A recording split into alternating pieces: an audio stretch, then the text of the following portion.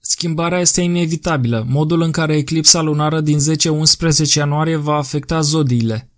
Între 10 și 11 ianuarie va apărea prima eclipsă din 2020. Aceasta va fi o eclipsă parțială lunară, care va afecta viața oamenilor destul de puternic și poate lăsa o amprentă foarte negativă. Eclipsa va începe în jurul orei 22.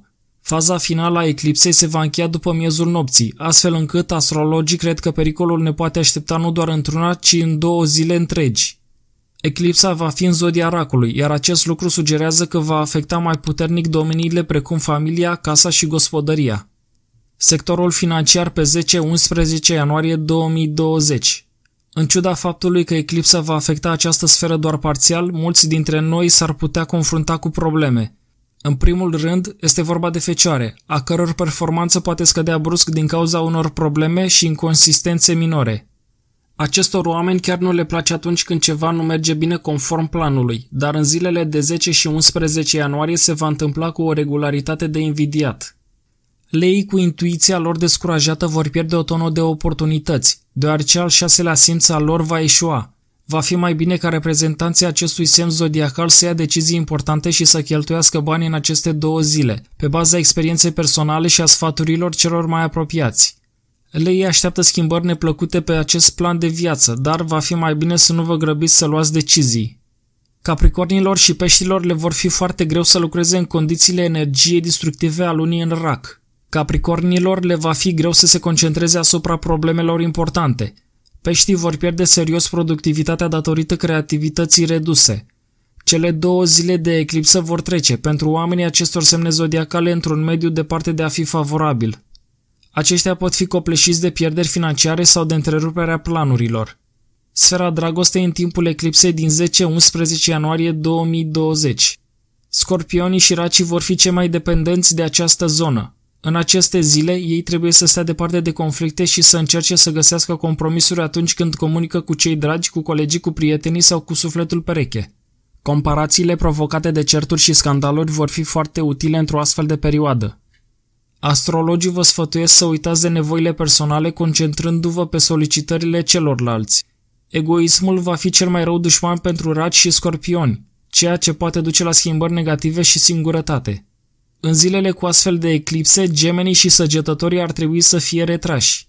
Atmosfera tensionată va interfera cu comunicarea cu ceilalți, așa că va fi mai bine să excludeți pur și simplu noi cunoscuți – mai mult, o eclipsă poate face ca noile conexiuni care nu au fost verificate la timp să se transforme în mari probleme. Există riscul de a întâlni o persoană cu gândire negativă care, în loc să ajute, va interveni serios în implementarea planurilor. Starea de spirit și sănătatea în eclipsa din ianuarie. Modificările de dispoziție și provocările emoționale îi așteaptă pe berbeci, tauri, balanțe și vărsători. Berbecii și taurii sunt oameni cu temperament rapid, care vor fi destul de ușor de enervat – Balanțele pot fi foarte vulnerabile, iar vărsătorii vor simți anxietate fără cauze. Merită să vă ocupați de fapte pentru a preveni deteriorarea stării de spirit și schimbări în fondul emoțional, în general. Astrologii sfătuiesc pe reprezentanții acestor patru semne zodiacale să acorde cât mai puțin atenție atacurilor dușmanilor, necazurilor în afaceri și în familie. Trebuie amintit că toate acestea sunt temporare și trecătoare. Cel mai mare nivel de precauție va fi necesar în seara zilei de 10 ianuarie și în dimineața zilei de 11 ianuarie. 10 ianuarie va fi o zi destul de periculoasă. Pentru mulți dintre noi, această vineri va fi o zi de vineri lucrătoare, care poate fi considerată un mare succes, deoarece în astfel de zile oamenii sunt mai concentrați asupra problemelor care sunt departe de familie și de casă.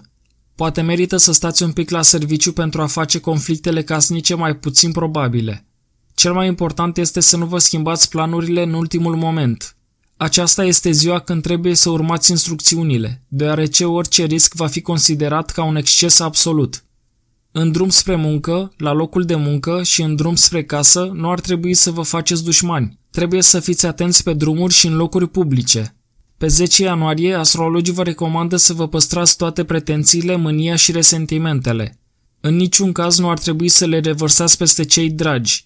Acest lucru poate provoca un conflict puternic, ale cărui consecințe vor fi ireparabile.